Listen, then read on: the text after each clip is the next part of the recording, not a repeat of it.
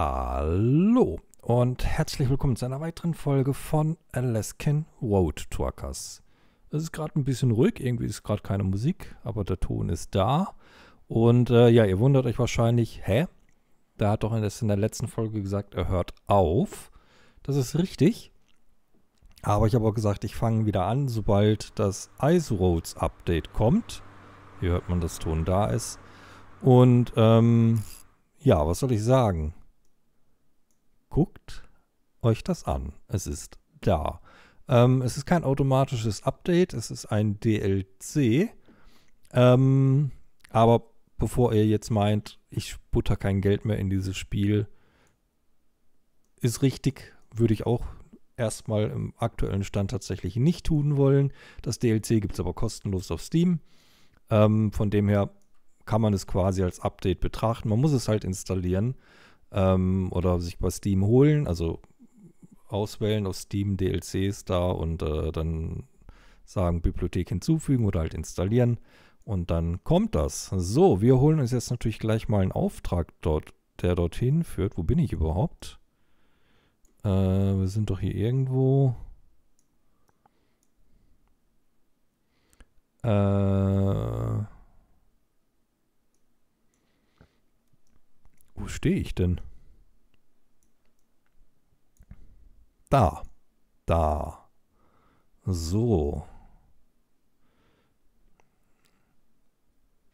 Die haben keine Aufträge. Weihnachtsmann-Werkstatt. Ich glaube, die sind auch neu. Also sind es, glaube ich, so... Sehe ich das hier nur in den Aufträgen, wo das hingeht? Da wollen wir nicht hin. Da wollen wir auch nicht hin. Ich würde gern irgendwas, was in die Ice Road Gegend geht. Oh, wir haben schon. Oh, es sind Lizenzen hinzugekommen, wenn ich das richtig sehe, oder? Bis D gab es bisher, glaube ich. Jetzt ist noch H für, äh, so wie es aussieht, Medizintransporte und E für Panzer. Okay, die Sachen können wir eh nicht. A und B habe ich. So. Das war das. Das will ich aber nicht. Da. Pakete. Ich hätte gern irgendwas, was nach oben geht. Zur Not fahren wir so hin.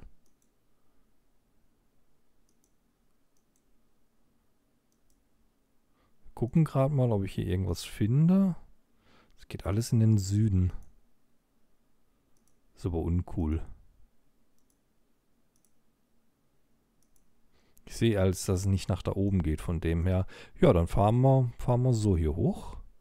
Äh, Wegpunkt hinzufügen. So, dann machen wir da die Route hin. Ähm,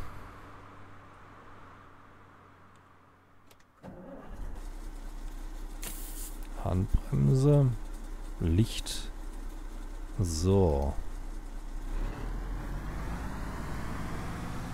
Ja, wir haben noch unseren weißen Truck.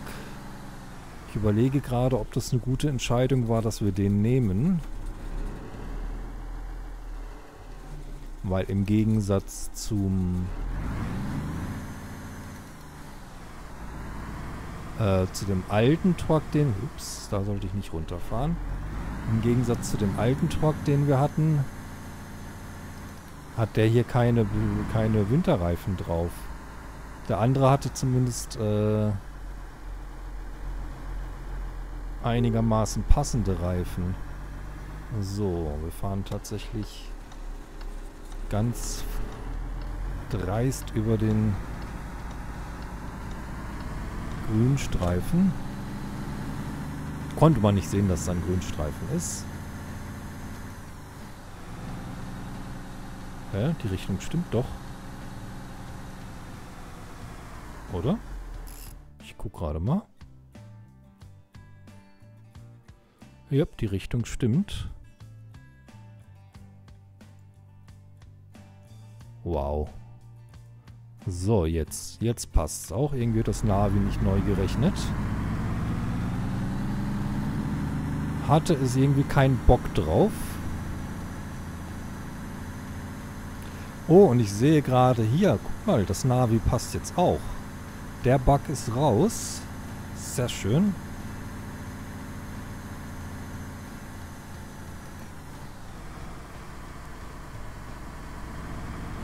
Ich überlege gerade, ob wir hier bei dem Schnee Bremsprobleme kriegen. Aber ich glaube, wir gehen nachher erstmal nochmal in den Tag. Aber ich muss ein bisschen schlafen. Äh, ein bisschen wach sein, dass ich nachher noch einschlafen kann.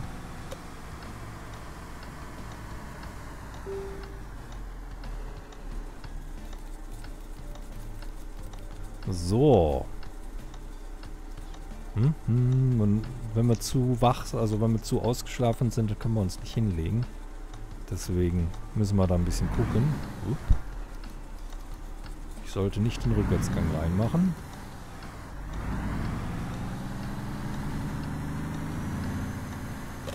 Ja, die KI fällt immer noch genauso grausam. Aber jetzt haben wir zumindest mal äh, interessante Herausforderungen, glaube ich. Die Ice Roads könnten interessant sein, was Fahrtechnik und so angeht.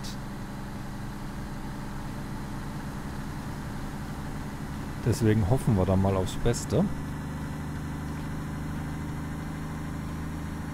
Wenn wir nachher am Zielpunkt angekommen sind, dann, wie gesagt, dann werden wir auf jeden Fall mal noch schlafen gehen. Man ist schon versucht, bei Rot drüber zu fahren, weil es hat, glaube ich, eh keinen Einfluss aktuell.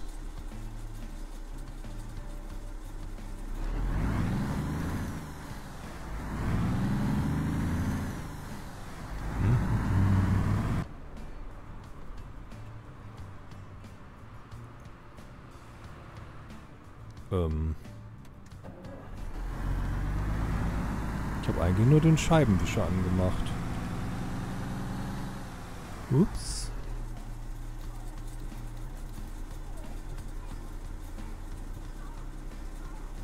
Intervallwischer wäre noch was Schönes.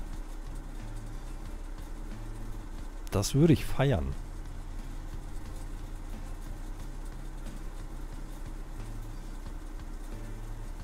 Hm, hm, hm. Ah, grün.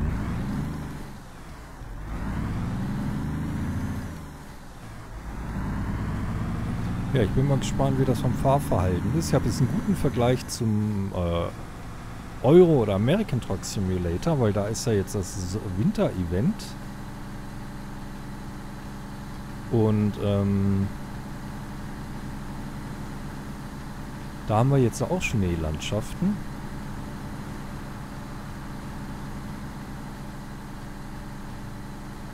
Hm, hm. Also momentan fährt sich's noch völlig normal, würde ich sagen.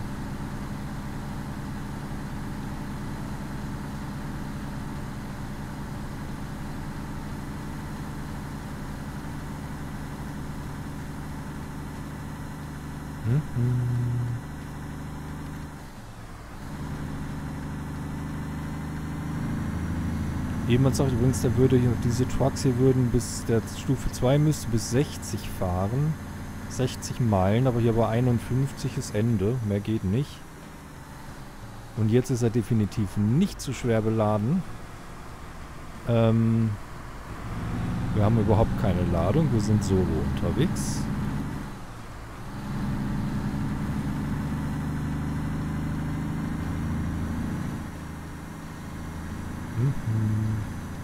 Also momentan fährt er gefühlt wie auf Teer. Man sieht halt nicht so wie auf Teer, weil einfach die Straße weiß ist.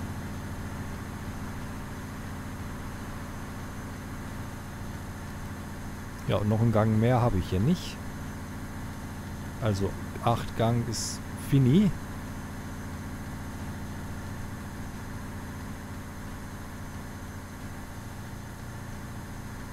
Ja, gucken wir mal, ne?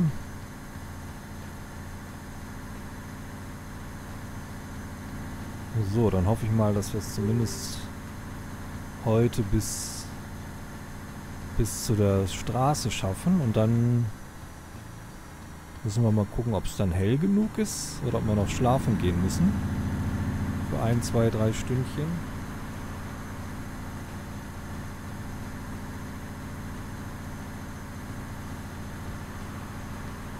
Mm-hmm.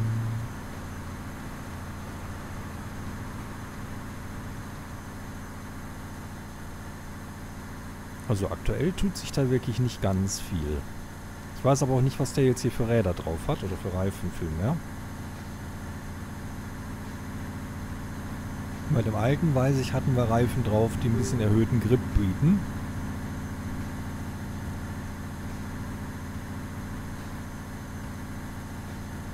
Also aktuell sehe ich tatsächlich noch keinen Vorteil, den mir hier der der äh, der neuere Truck bietet. Vielleicht kommt das noch. Irgendwo müssen wir hier abbiegen. Da.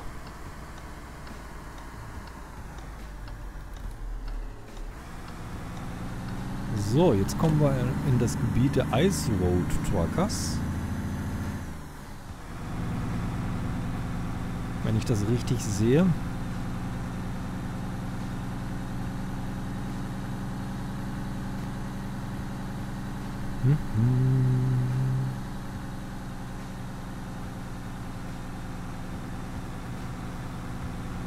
Gucken wir, sobald wir am Zielpunkt sind, da werden wir dann, äh, plus 4,8 Grad sehe ich gerade, da werden wir dann ähm, mal kurz ein Nickerchen machen, dass wir ins Helle kommen. Welche Ingame-Zeit haben wir denn? 22.14 Uhr, ja. Das sieht aber schon schick aus hier. Und da soll es halt wirklich auf, auf Eisstraßen, also auf zugeeiste Seen gehen. Ich vermute deshalb auch der plötzliche Wintereinbruch.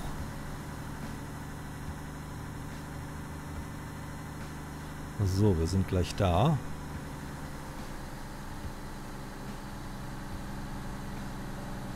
Da müssen wir nur noch Nickerchen machen und dann dass wir in die Tageszeit, also wir auf tagsüber kommen. Oder soweit es halt geht, ein Nickerchen machen. Ja, da bin ich mal gespannt. So, wir sind am Ziel. Gucken wir mal, dass wir hier uns irgendwo hinstellen können. Oh, das sieht doch schon mal gut aus.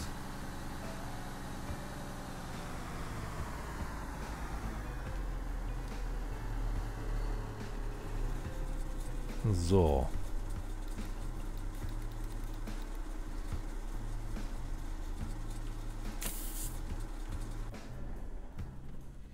So, dann gehen wir gerade mal schlafen, insofern das geht. Jawoll. 8 Stunden, 22 Uhr. Ja, das passt. Dann sind wir bis um 6 Uhr morgens, wenn ich das richtig sehe, ne? Müsste. Jawohl, 6.33 Uhr. Sehr schön. Äh, machen wir gerade mal noch eine Instant-Suppe. Dass wir genug zu essen haben.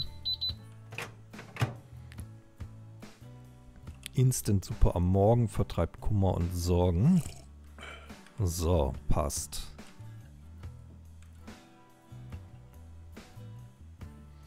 Ja, also von der Sicht her sieht das alles schon mal gar nicht schlecht aus. Jetzt müssen wir aber natürlich nach Aufträgen gucken, ne? So, was haben wir hier denn? Icicle-Brücke. Da gibt es Aufträge und da gibt es auch einen Shop, das ist schon mal gut.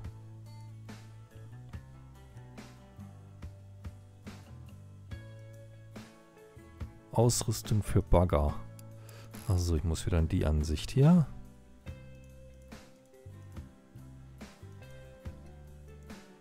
Jawohl, das ist genau so einen, den wir machen wollen. Okay, da müssen wir hin.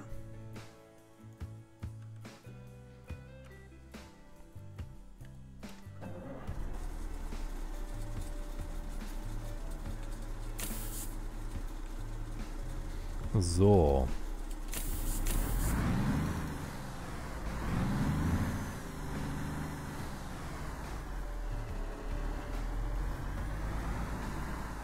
Ähm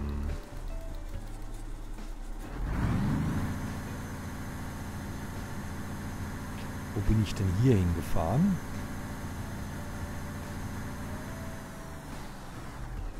Ups.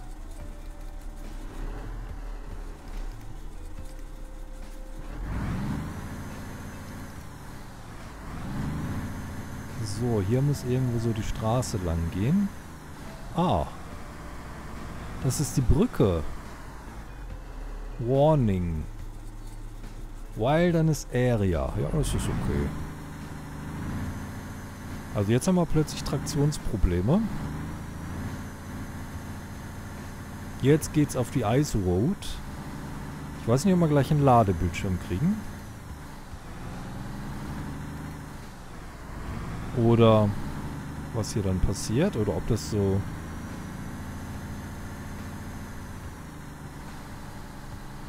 aufpassen, dass der nicht quer geht. Wir haben nicht viel Platz.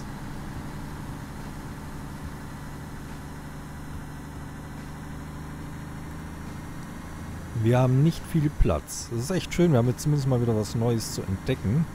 Die anderen Touren, ja okay, man konnte andere, hätten noch höheren Führerschein machen können. Dass man noch andere Touren machen kann. Da sind jetzt...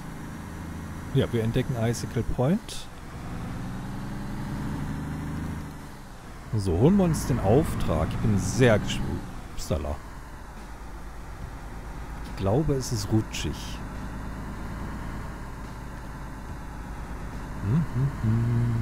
Ich überlege, ob wir Schneeketten drauf machen sollten.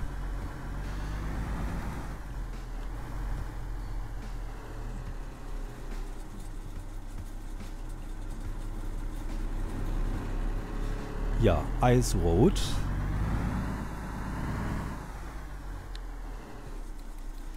Wir machen mal Schneeketten drauf. Wir haben minus 8 Grad.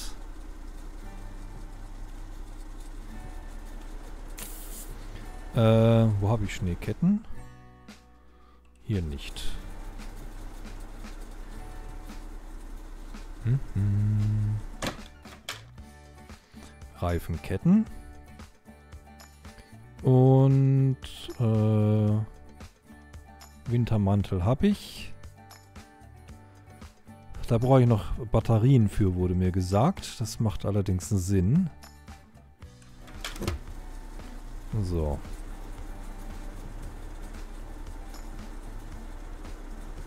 Gehen wir gerade mal raus und ziehen dann den Wintermantel an.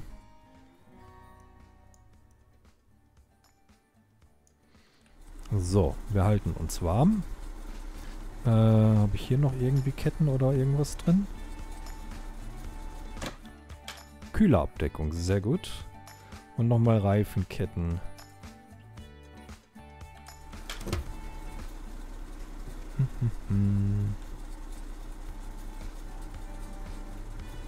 Wow. Amerikanische Flagge, okay.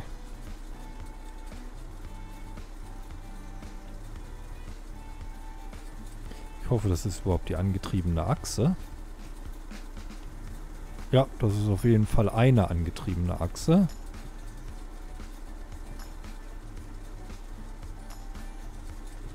Vorne kann ich gar keine Ketten montieren, sehe ich das richtig?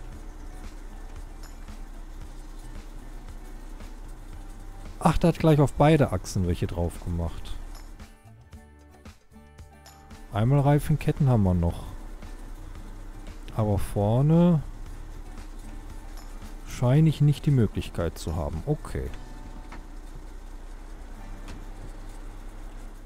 So, machen wir den Wintermantel wieder aus.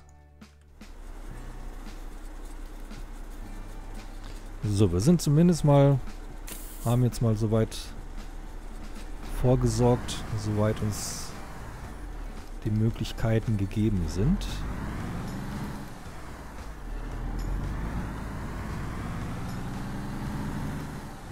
Fährt sich auf jeden Fall schon mal besser.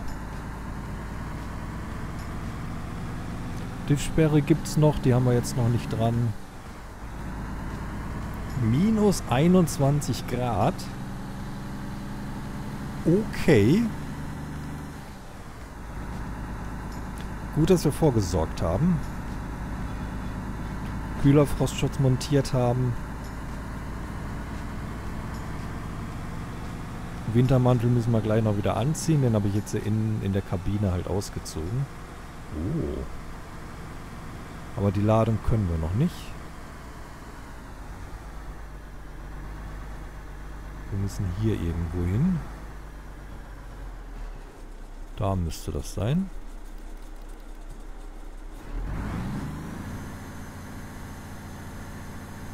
Gucken wir mal, wo der Dude ist.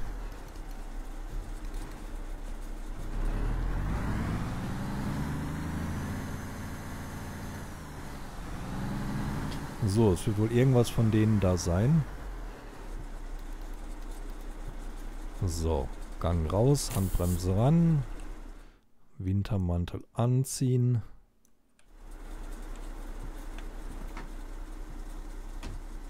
So.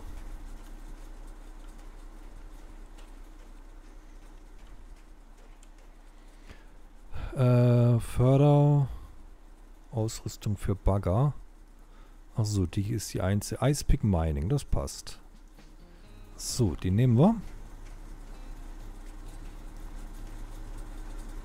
Der da ist das. Cool. So große Baggerschaufeln. Und Ketten, wenn ich das richtig sehe.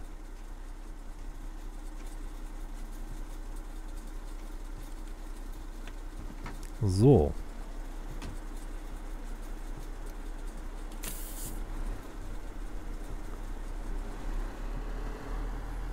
Benutze eigentlich ganz gern die Tasten. Manchmal gehe ich aber halt doch auf die Tasten auf der Tastatur.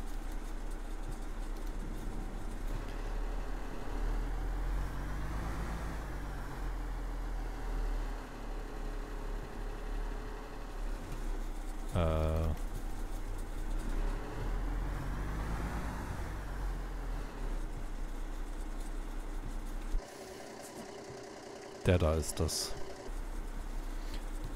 Das würde es so viel einfacher machen, wenn die... Wenn das ähm,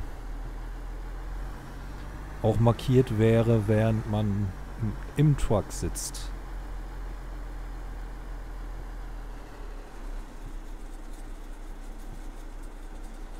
So. Äh ja, das Problem mit den aus mit den Jacken, die immer automatisch ausziehen oder nicht mehr zu sehen sind, das ist wohl auch behoben. Zumindest sehe ich jetzt dauerhaft die Winterjacke als an. Oh, ich freue mich. Das wird, das wird spaßig, denke ich. Ähm, Ne, Werkzeugkiste will ich nicht Verkabelung, genau. So. Doch, war ich echt froh. Ich habe am, wann kam das? Am Freitag? Ne, am Donnerstag. Donnerstag kam das Eisrot-DLC raus, Donnerstagabend. Ähm, so, ja, das haben wir unsere Fuhre und damit würde ich sagen, starten wir dann in der nächsten Folge. Jetzt gehen wir dann nämlich erstmal beenden wir die Folge hier an dieser Stelle. Ich sage danke fürs Zuschauen. Ich hoffe, euch hat es gefallen und ihr seid auch beim nächsten Mal wieder mit dabei. In diesem Sinne, ich sage danke und tschüss. Bis zum nächsten Mal.